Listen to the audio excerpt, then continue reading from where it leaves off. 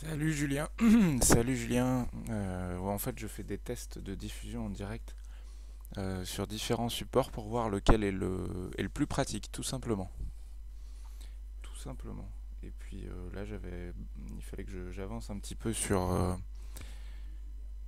une commande de figurine 15 mm période Empire.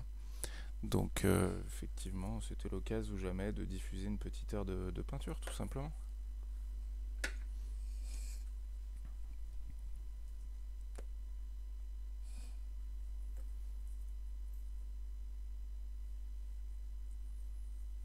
Là, justement, le fait que tu me laisses un message m'a permis de voir qu'il faudrait que je me mette un système d'alerte. Parce que le truc, c'est que quand je suis en train de peindre, je ne regarde pas l'écran, fatalement. Donc, il faudrait que je me mette un, petit système d'alerte pour, euh, pour tourner les yeux sur l'écran quand il y a un nouveau message. Même si je m'attends pas à ce qu'il y ait euh, des millions de vues euh, sur ce genre de vidéo très, très, très spécialisée, on va dire.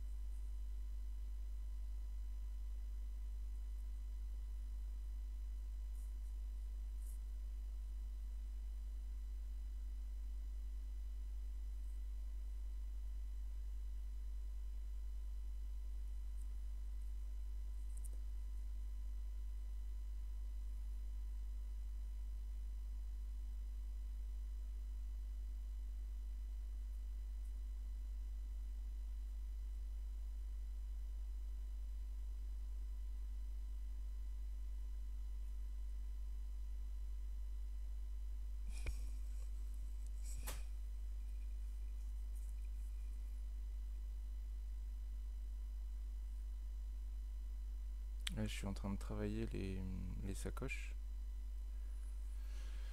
Euh, la technique de peinture que je suis en train d'utiliser là, c'est du lining. Donc en fait, je suis parti sur une sous-couche noire et euh, je viens simplement mettre en relief euh, les, bah, tous- tous les détails. Donc le but c'est pas un rendu de qualité exposition ou, même de la très très belle figurine. Le but c'est que ça c'est que ça claque sur le sur le champ de bataille à distance de jeu en fait. Donc c'est très contrasté. Mais si on regarde de près, on, voit que, euh, les dégradés sont pas présents en fait.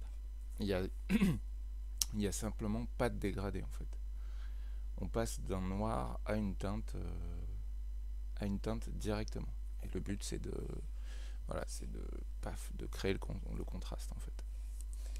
Là je vais faire un petit peu les métaux et puis je suis pas loin d'avoir fini pour ce socle. Je pensais mettre un petit peu plus de temps, et puis en fait non, donc c'est cool.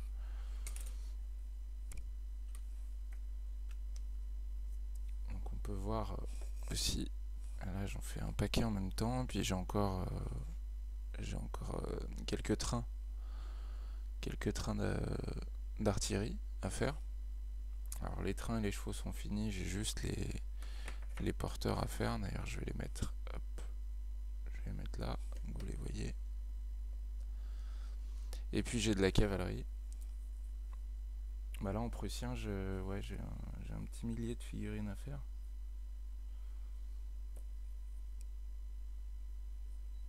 Après 1000, ça, bon, ça, ça paraît euh, des chiffres fous, mais ça va vite en fait.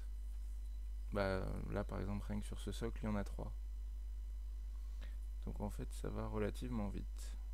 Et puis après, les socles d'infanterie, ça va plus vite aussi parce qu'ils ont tous la même pose. Donc, euh, on gagne du temps.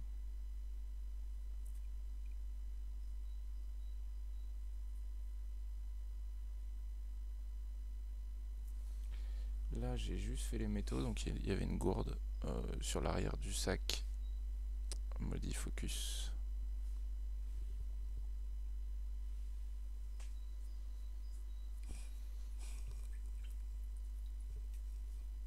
Ouais, je sais qu'il faudrait que je fasse euh, de, la com autour de tout ça.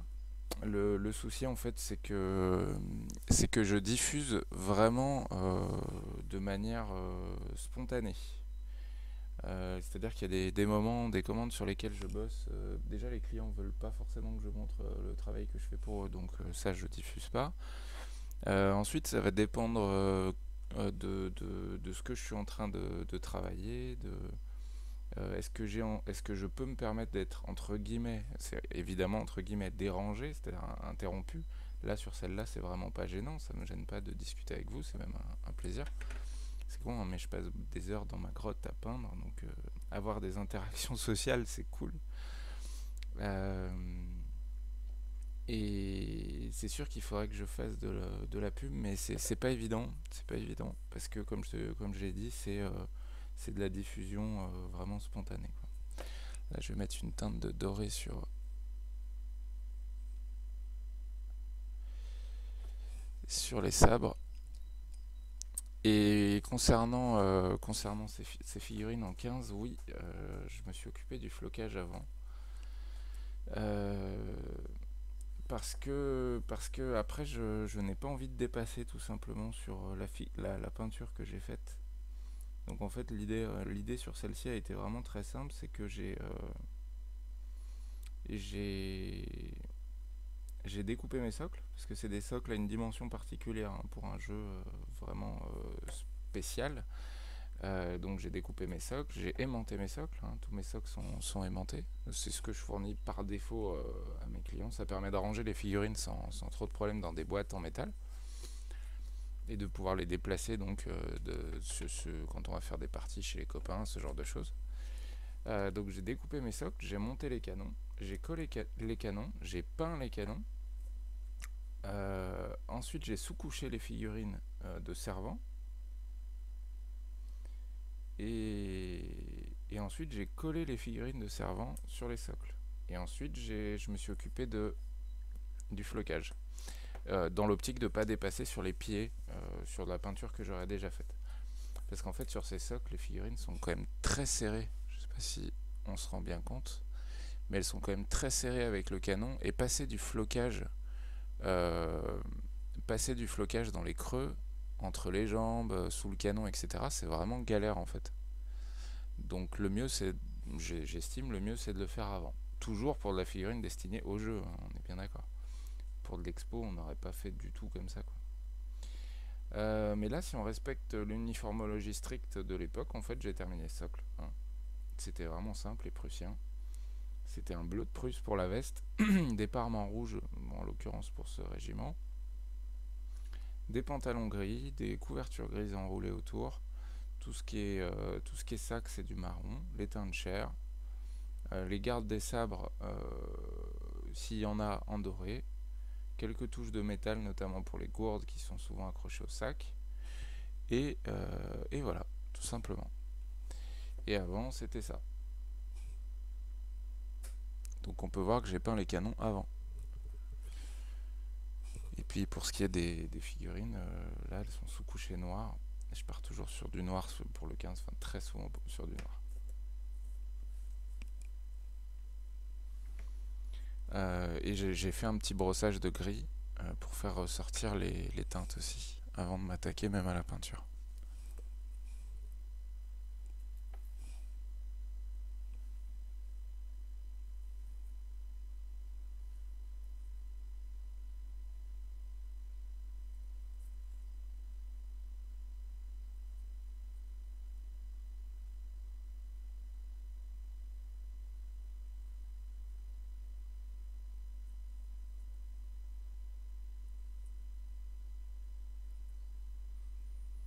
15 mm c'est vraiment le top pour le, rendu de masse. C'est vraiment... Euh,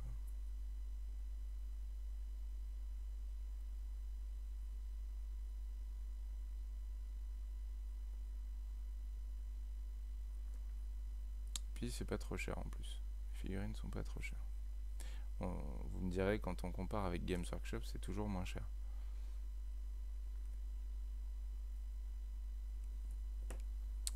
Même s'ils font de très belles figurines, des fois ça me semble pas très justifié.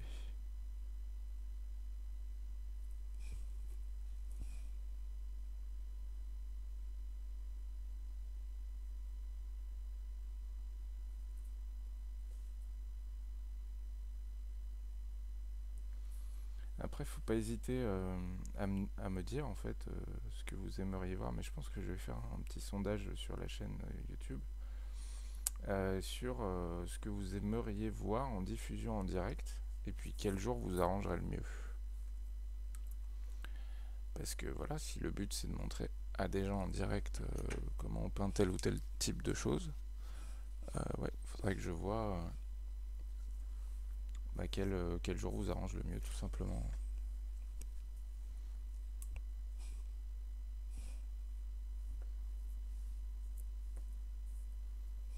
Là, je vais m'occuper de faire la veste des guides qui sont assis sur les chevaux des caissons d'artillerie pour faire de l'artillerie à cheval.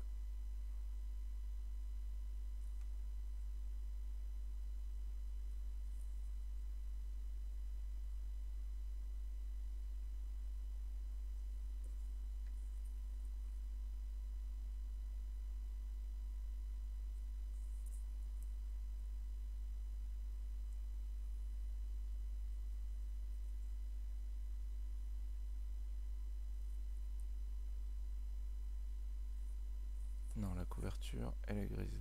Il y a une couverture enroulée sur l'arrière des de beaucoup de cavaliers en Empire. Et elle change en fonction de la nation, évidemment. Pour les, pour les Anglais, c'était rouge, etc. Et pour les Prussiens, j'étais en train de faire une bêtise. Elle est pas bleue, elle est grise.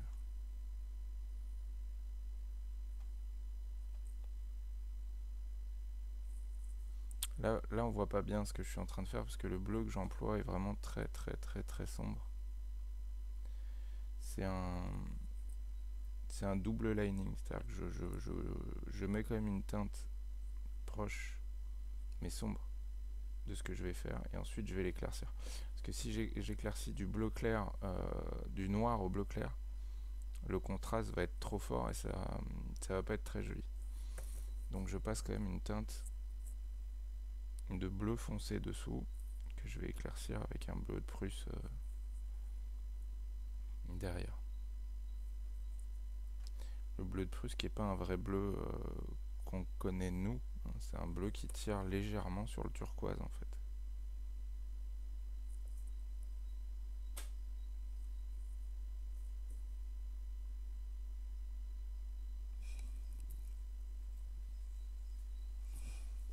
Bolt Action, oui, j'ai beaucoup, euh, beaucoup de commandes, euh, c'est pas le. Bah, en fait, c'est par période, mais c'est vrai que oui, Bolt Action, j'ai quand même beaucoup de commandes. Euh, parce que parce qu'ils font des très très très belles figurines, enfin je trouve, très franchement. Alors je parle pas des figurines plastiques, mais uniquement des métals. Hein. Elles sont franchement super jolies. Euh, et bah, la Seconde Guerre mondiale, c'est super vendeur aussi. Hein. Il y, a beaucoup de gens qui, euh, commencent la figurine historique avec la Seconde Guerre en fait. Tiens d'ailleurs, je vais vous montrer un truc. Hop, j'ai fait récemment une armée française. Bah, pour le coup, je l'ai publié sur mon blog, donc euh, pour ceux qui ont vu le blog, voilà, vous l'avez déjà vu. Hop, une armée française qui est terminée pour Bolt Action donc. Donc là on a trois unités d'infanterie en fait. Donc euh, ça fait 30 figurines. Et les figurines, euh, c'est de la peinture euh, simple destinée au jeu, mais, mais elles ont vraiment de la gueule les, figurines Bolt Action. Sans compter qu'en métal, il n'y a pas de temps de montage, enfin c'est un, vrai plaisir. Et pour ce qui est des, blindés, pour les chars, hop, j'ai posé des aimants en fait sous chaque dans les caisses et sous les tourelles, ce qui permet de, bah voilà, de tourner la tourelle mais euh, qu'elle bouge pas. Pareil pour le FT17. J'en ai encore euh, plusieurs euh, plateaux comme ça, hein, parce que c'est c'était une grosse commande. Et du coup, j'en ai fait un petit peu en plus et je l'ai mis en vente d'ailleurs sur eBay. Et là, je vais faire des Italiens. En fait, souvent, on me demande pour Bolt Action des nations euh, un petit peu, entre guillemets originales, les, moins jouées en fait. Donc, bah, du français, de l'italien, du polonais, ce genre de choses. Et accessoirement, le jeu en lui-même, Bolt Action, est un super jeu. C'est pas. hum, Si on veut faire vraiment du pur historique, c'est pas le, plus représentatif de, la réalité. C'est pas le plus proche de la réalité. Mais sur le plan du jeu, du plaisir de jeu, de l'aspect ludique, c'est vraiment un super kiff.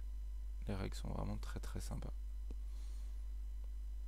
C'est destiné à du tournoi limite, hein, même si l'équilibrage laisse légèrement à désirer, c'est euh, c'est vraiment un jeu super sympa à jouer. Pour faire de la grosse escarmouche, je trouve.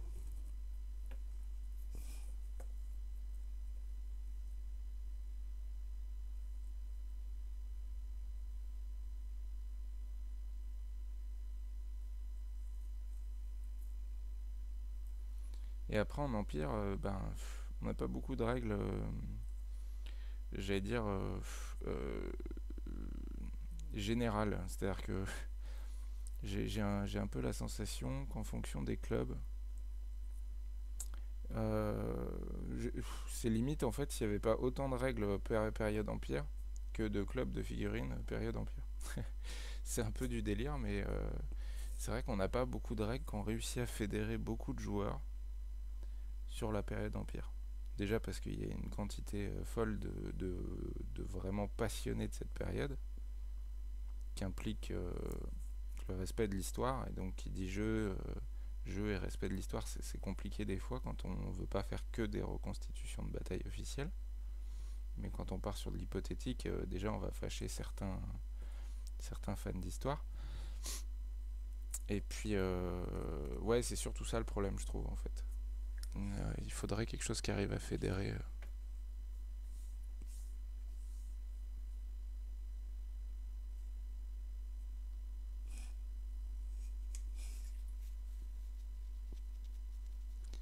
Le starter français de, de Bolt Action, j'imagine? Ouais, c'est un, super moyen de débuter euh, Bolt Action. Il y a, tout ce qu'il faut dedans pour, pour se lancer. Le bouquin était un vrai kiff à lire. C'est chez qui que tu, euh, tu fais la, que tu fais ton initiation Bolt Action? Comment, comment il s'appelle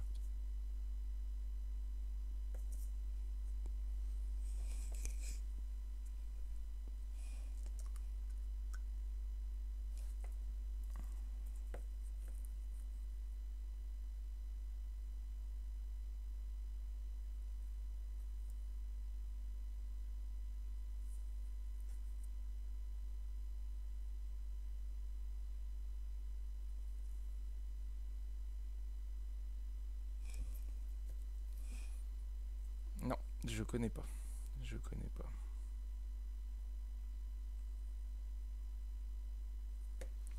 Récemment, j'ai fait une initiation aussi sur Bolt Action pour, euh, pour un, gars de ma région qui voulait se lancer. Alors, euh, j'ai fait des erreurs sur le plan des règles, mais dans l'ensemble, c'était un bon moyen de, voir le, système, quoi. Et ouais, ouais, ouais, c'est, enfin, tu, tu, tu ne peux que t'amuser avec Bolt Action. C'est vraiment cool. Même pour des gens qui connaissent pas le, jeu de figurines, c'est vraiment, euh, vraiment un très bon jeu. Et euh, pe- petit conseil, si je peux me permettre, sur le montage des figurines plastiques euh, qu'il y a dans la boîte de base, prends ton temps. Parce que tu vas voir que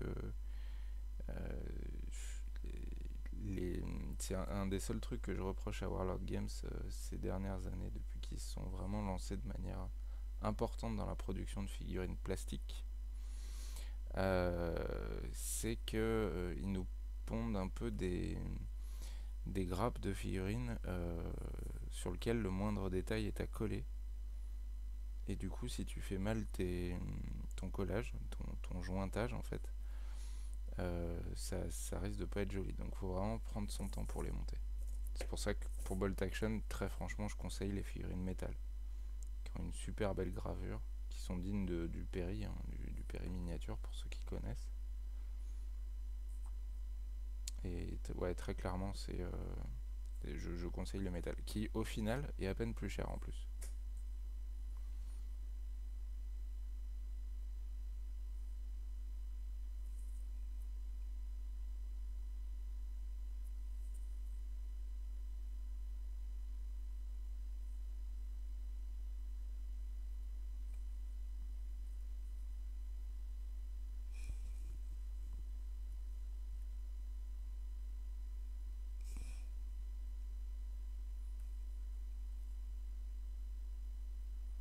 Indochine, c'est sympa ça. Ça change.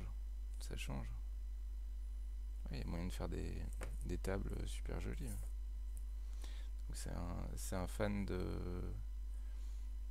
Ah bah non, tu viens de me dire qu'il fait de l'Empire aussi. J'allais dire c'est un fan de combat contemporain plus ou moins.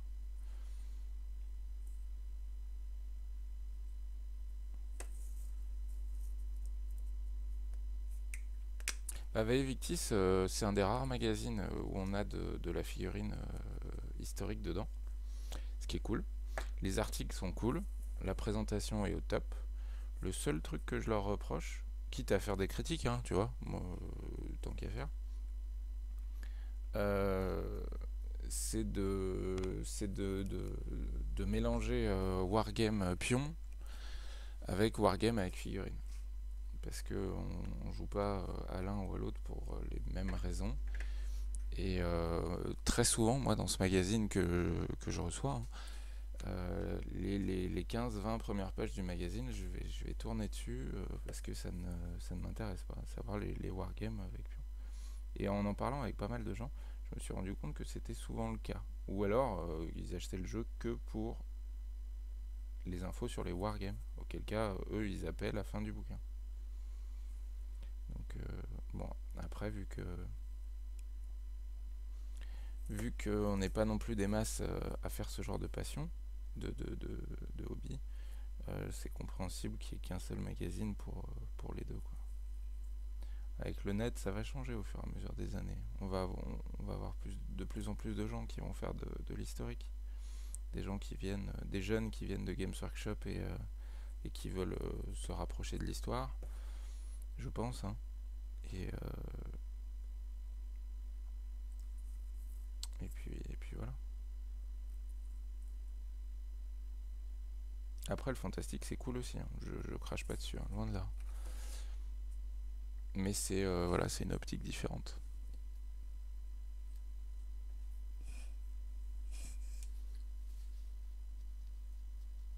Steel Master, ouais, c'est ça aussi, qui est bien, mais trop de pub, je suis d'accord. Mais bon, pour marcher, enfin pour, euh, pour tourner, j'ai l'impression qu'ils ont, ils ont besoin de ça, c'est obligatoire. Hein, donc, euh, c'est toujours mieux que de ne pas avoir de, de, magazine du tout. Euh. Parce que c'est vrai que c'est un petit kiff quand même de lire, de lire les magazines de figurines. C'est un peu le seul lien qu'on a entre nous quand on quand on fait pas de club ou autre. Donc ouais, c'est cool. À une époque, il y avait à une époque, j'aimais beaucoup le, le, White Dwarf. Mais c'est devenu un, un magazine 3 euh, suisse. Clairement, euh, c'est un catalogue euh, de, vente en fait de VPC, j'ai l'impression. Quasiment que des photos, très peu de contenu en fait. Et je trouve ça vraiment dommage. Je me souviens de l'époque où il y avait des tutos de, fabrication de décors, des scénarios, etc. Et c'était sympa. J'ai l'impression que c'est plus trop le cas aujourd'hui. Alors ça fait longtemps que je les ai pas achetés.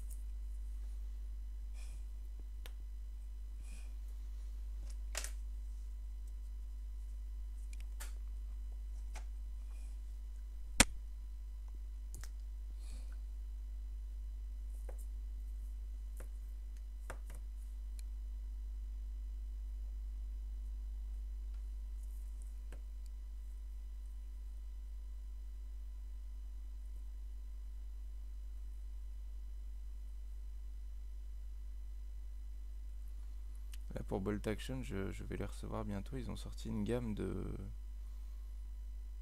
euh, d'américains et d'allemands en tenue hiver euh, que j'ai déjà eu l'occasion de peindre pour un client qui est vraiment très très très belle. Le fait qu'ils aient, les, qu'ils aient les manteaux longs, les écharpes et tout ça, ça, ça augmente le dynamisme des figurines.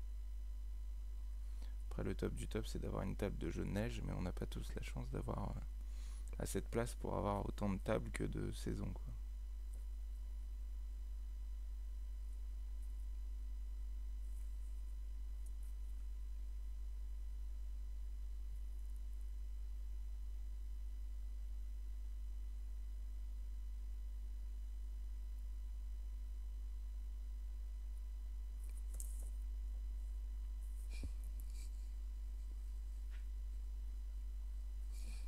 Oui, les nouveaux Pogames, Games, ils sont pas top. Après, je trouve quand même que la qualité de peinture est, là. Mais ils sont extrêmement chers. Et, euh, et puis ils cassent en plus souvent sur la partie arrière. quand tu t'en sers de manière intensive.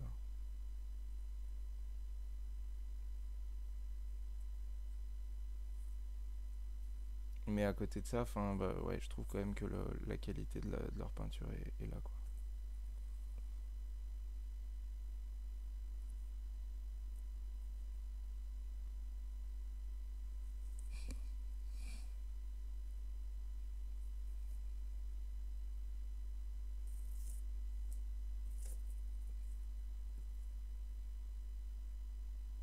Une gamme de peinture que je conseille qui est pas très connue en France c'est le système Wargame Foundry. Quand on peint pour du Wargame, hein, j'entends pour du jeu de figurines, euh, il est vraiment génial ce système. Euh, l'idée c'est de d'acheter que des lots euh, de, trois pots. on peut les acheter au détail, mais la, base de, ce système c'est ça. D'acheter que des, des, lots de trois pots dans la même teinte. et chaque pot euh, bah, en fait c'est la teinte de base, son premier éclairci, son second éclairci. C'est une super idée qu'ils ont eue.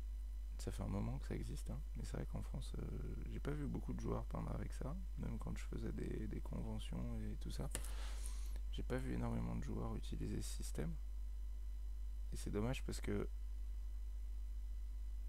ça refroidit moins les gens qui veulent se lancer dans la peinture, je trouve. De voir que tout est là. Non, non, non, tu sais, c'est un petit concours, euh, c'est un petit concours euh, d'une petite chaîne à 100 abonnés. C'est, je vais pas avoir grand monde. Là, pour le moment, je crois qu'il y en a une vingtaine, quelque chose comme ça. ouais, une petite vingtaine de, une petite vingtaine de, de participants. Et puis, euh, je verrai, mais dès qu'on aura passé d'autres caps importants de, nombre d'abonnés, c'est certain que je que je mettrai d'autres choses en, jeu et notamment euh, probablement appuyé par, euh, par mes fournisseurs. donc peut-être que j'aurai des cadeaux par, par le biais de, Warlord Games par exemple.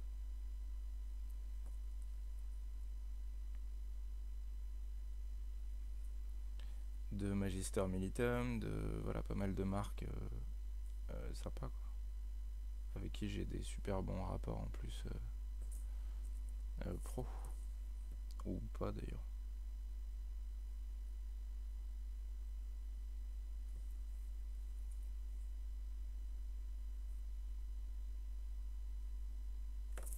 D'où l'intérêt de voilà d'essayer de faire en sorte que vous tous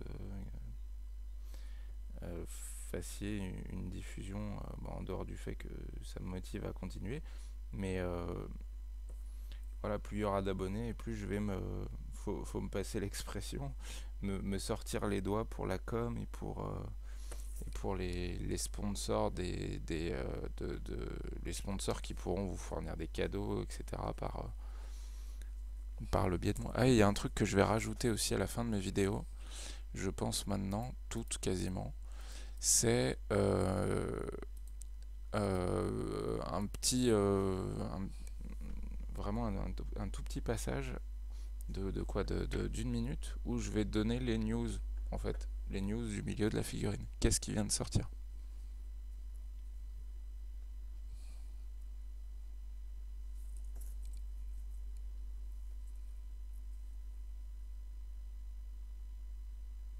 Alors euh, non, non, non, non, j'ai pas, j'ai pas encore fait ça. Déjà parce que sur Facebook, je suis pas très très présent. J'essaye de l'être, mais c'est vrai que j'y pense pas à chaque fois. Euh,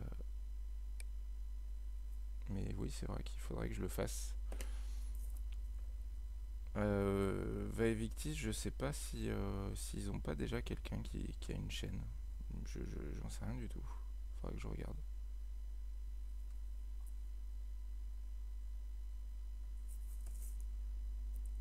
Après, mon, mon objectif, c'est pas euh, du tout de gagner des sous ou de.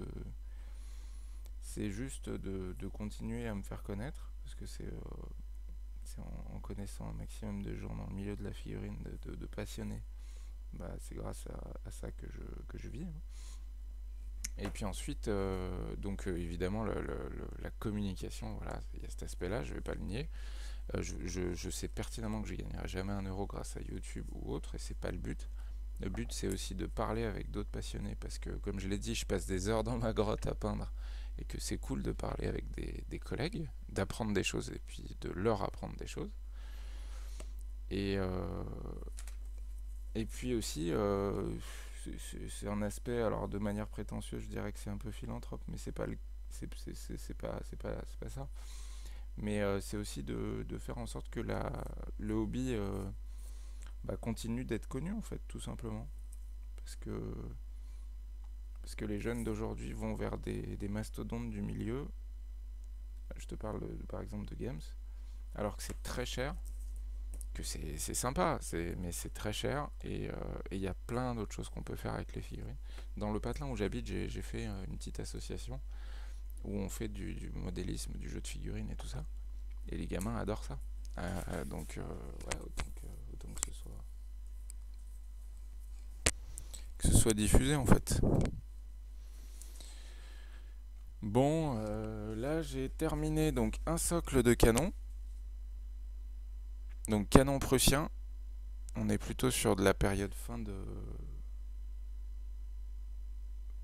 fin de guerre donc à partir de 1812 grosso modo, 1812-1815. J'en ai encore 5 euh, à faire. Ça c'est des hussards. Euh, j'ai terminé 3 euh, trains d'artillerie. Donc j'avais fait en sorte que les socles soient parfaitement adaptés pour que sur le terrain de jeu, en déplacement, on les mette comme ça on a l'illusion que c'est en, mouvement. Et puis une fois euh, euh, sur, le, sur le champ de bataille, on peut les placer par exemple comme ça euh, pour, simuler que c'est en, en, jeu, quoi. Enfin, qu'ils peuvent tirer. Et puis il va falloir que je m'attaque au, au, au hussard. J'ai des dragons aussi, des dragons prussiens. J'ai du hussard français. On va mettre de la couleur là. Et ça, c'est pour un club un club de figurines. Euh, les Riflemen d'ailleurs, je, vais... Hop. C'est les parents qui payent Games Workshop, absolument. je suis bien d'accord, j'attends impatiemment le moment où mon fils va, va me demander de se lancer dans la figurine, s'il le demande. Hop. Je vais faire un peu de pub pour le, blog, le, le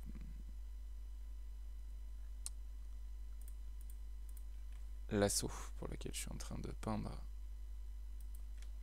Ils ont un super blog d'ailleurs.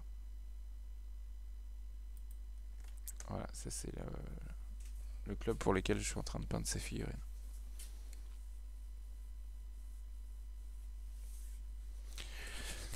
Euh, je, vous conseille d'aller jeter un oeil sur, ce blog hein, qui est vraiment euh, clairement super génial. Ils ont, c'est des passionnés d'histoire, hein. c'est des profs d'histoire pour la plupart d'ailleurs. Et euh, ils font des super comptes rendus avec des petits, gifs animés à chaque fois et tout, euh, des photos d'eux et tout ça. C'est vraiment un super blog. Pour les socles, Julien, euh, pour les socles, j'utilise des feuilles comme ça. Alors pour info, je, je les vends aussi. Hein. J'en profite. Je les vends 3,90€ avec 1€ de frais de port, un peu moins cher si, si tu les prends par 5 ou par 10. Ça fait 0,03 mm d'épaisseur, donc c'est très fin, comme tu peux le voir là. Sur ce socle, c'est vraiment extrêmement fin. C'est adhésif d'un côté. Et euh, en règle générale, je les prédécoupe pas en fait. C'est-à-dire que je vais, j'ai mes socles, je vais enlever le, côté adhésif évidemment, je pose mes socles dessus, et ensuite je suis au cutter euh, le, long de mes socles, et puis c'est fini. donc c'est super simple. Et euh, donc ouais, c'est des feuilles à 4 comme ça. Après, tu peux les trouver aussi sur le net, hein, et, même à Cultura ou ce genre de choses les, magasins de loisirs créatifs, souvent ils vendent des feuilles aimantées comme ça. Prends pas trop épais par contre, enfin c'est à toi de voir, mais si tu prends trop épais, ça augmente quand même considérablement l'épaisseur des socles, c'est dommage. Euh, et vu le poids qu'il y a dessus, t'as pas besoin d'avoir une épaisseur et donc une puissance magnétique trop forte en fait.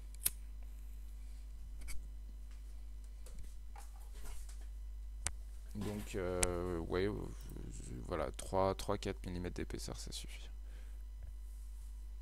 Non, non, non, en fait, dans la mesure où ça fait 3 mm d'épaisseur, si je faisais tout le socle euh, euh, comme ça, ce serait trop souple. Euh, déjà, ce serait trop souple, et ensuite... alors, ce serait possible pour des tout petits socles, vraiment des tout petits. Tu vois, je suis en train de te dire des bêtises, c'est que par exemple, ceux-là, encore des Prussiens, là, il n'y a que de la bande aimantée et ils ont été collés dessus. Mais parce que le socle est vraiment tout petit, il fait 2,4 cm de front par 1,2 cm de, large. Et vu qu'il est tout petit, ben, on diminue le, risque de souplesse entre guillemets de, la base. Mais dès que les socles sont un peu plus grands, je mets toujours un peu de carte plastique euh, pour solidifier le tout. Et ensuite, je mets de l'aimant. Sachant que pour faire les socles, s'il y a un truc que je te conseille, c'est le lino. des plaques de lino. Dans ce genre-là. Euh, hop. Euh, tac, je vais, je vais, t'envoyer le lien.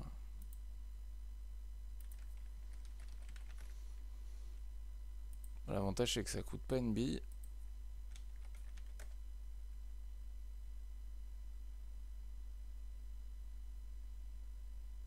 Je crois qu'il y en a quelque chose comme... Euh, c'est du revêtement de sol en fait. Hein. à la base c'est pour... Euh, c'est des dalles adhésives.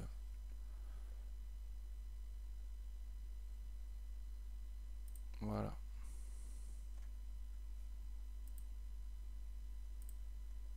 Alors je, je, je, fais de la pub pour Casto du coup, mais tu peux le trouver à Casto ou ailleurs. Ouais, ça marche, pas de souci. Je te dis à très bientôt. Euh, et puis, euh, de toute façon, moi, je coupe la vidéo. Ciao, ciao.